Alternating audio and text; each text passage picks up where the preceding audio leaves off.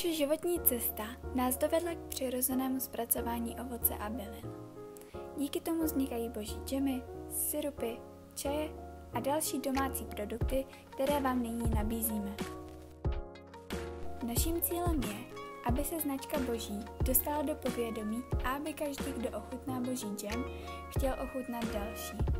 Chceme vařit, experimentovat s chutěmi a mít své stále zákazníky, kteří ocení kvalitu božích produktů a kterým záleží na tom, co jí.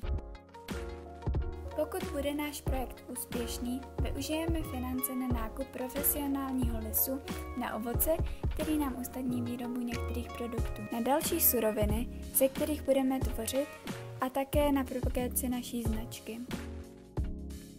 Jo, a abych připomněla, blíží se Vánoce a tak máte díky Heditu možnost obdarovat božími dobrutkami vaše blízké. Štaťte se, že jim uděláte mega radost. Každý přece ví, že láska prochází žaludkem.